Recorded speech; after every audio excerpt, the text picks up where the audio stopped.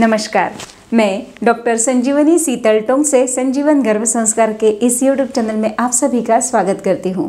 Pregnancy का समय नाजुक होता है, साथ ही बहुत ही खास भी होता है।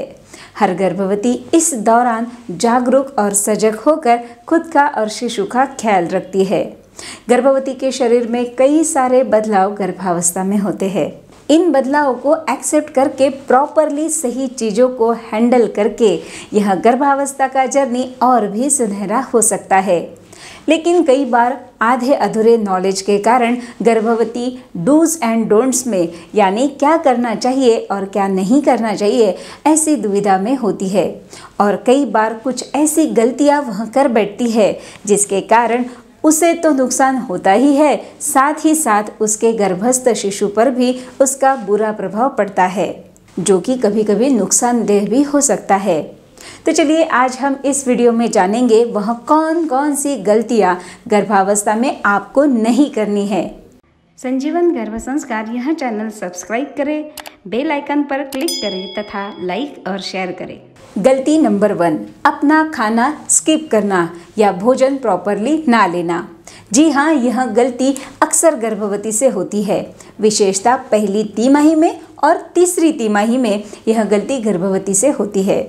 पहली तिमाही में मचलाहट उल्टी, थकान ऐसे लक्षणों के कारण गर्भवती को कुछ भी खाने का मन नहीं करता है। वैसे ही तीसरी तिमाही में एसिडिटी, कॉन्स्टिपेशन जैसी समस्याओं के कारण भी गर्भवती को भूख न लगना यह कॉमनली देखा जाता है। और फिर गर्भवती अपना खाना स्किप करती है। आपको मैं बता दूँ, ऐसा करना आपकी और आपके शिशु की सेहत के लिए काफ़ी खतरनाक हो सकता है।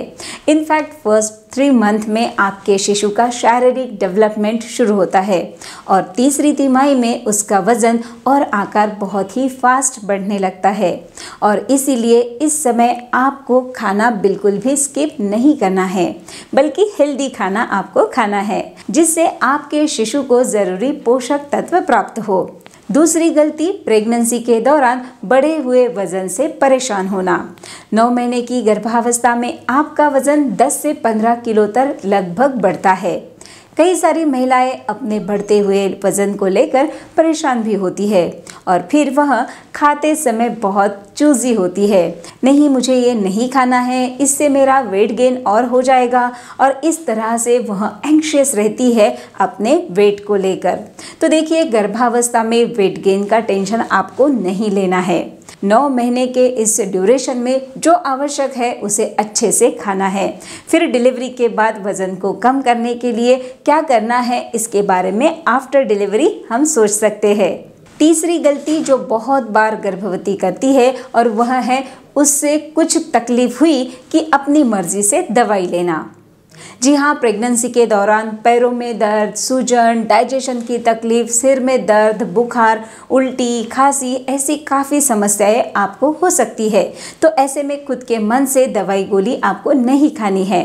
गर्भावस्था में यदि आपको किसी भी तरह की तकलीफ़ हो रही है तो इसके लिए अपने डॉक्टर से संपर्क करके ही दवाई गोली आपको खानी है।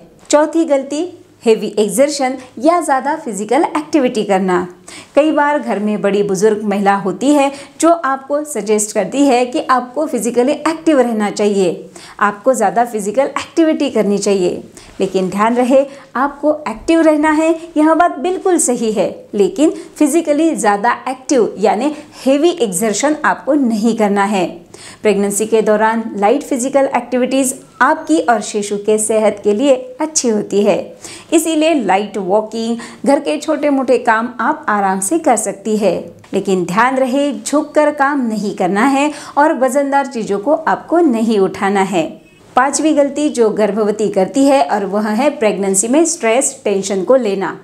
प्रेगनेंसी में आपका शिशु आपसे कनेक्टेड होता है मेंटली एंड फिजिकली आपके हर इमोशंस का डायरेक्ट इम्पैक्ट आपके गर्भस्थ शिशु पर पड़ता है। और इसीलिए जब आप स्ट्रेस में होती है, जब टेंशन में होती है तो शिशु के शारीरिक विकास पर भी इसका बुरा प्रभाव पड़ सकता है। और इसीलिए आप यदि चाहती है कि आपका शिशु सर्वगुण संपन्न, बुद्धिवान, आनंदी हो तो आपको भी गर्भावस्था में आनंदी रहना है। तनाव से दूर आपको रहना है। छठी गलती गर्भावस्था में कांटेक्ट रखने चाहिए या नहीं, इसे लेकर भी कई बार गर्भवती कंफ्यूज होती है और मिस्टेक कर देती है। प्रेगनेंसी के पहले तीन महीने में आपको फ़िज़िकल रिलेशन नहीं रखने हैं और आखिरी नब्बे महीने में भी आपको इससे परहेज करना है। ड्यूरिंग प्रेगनेंसी कब रिलेशन रखने हैं? क्या प्रिकॉशंस लेनी है? इसके संबंधित मेरा सेपरेट वीडियो मैंने डाला हुआ है। उसे भी ज़रूर देखिए ताकि आपको बाकी इस विषय में और जानकारी मिल सके। यह तो हो गई गलतियाँ जो ज़्यादातर गर्भवती प्रेगनेंसी के ड्यूरेशन में करती है। हमें इन गलतियों से बचना है और आपको अच्छा पौष्टिक खाना light exercise proper supplement regular checkup proper position में सोना उठते बैठते समय आराम से उठना, खाने में तला हुआ, मसालेदार स्पाइसी खाना अवॉइड करना और सबसे इंपॉर्टेंट खुश रहना। इन बातों को आप यदि इम्प्लीमेंट करती है तो जिससे आपका शिशु भी स्वस्थ और आप भी स्वस्थ रहेगी।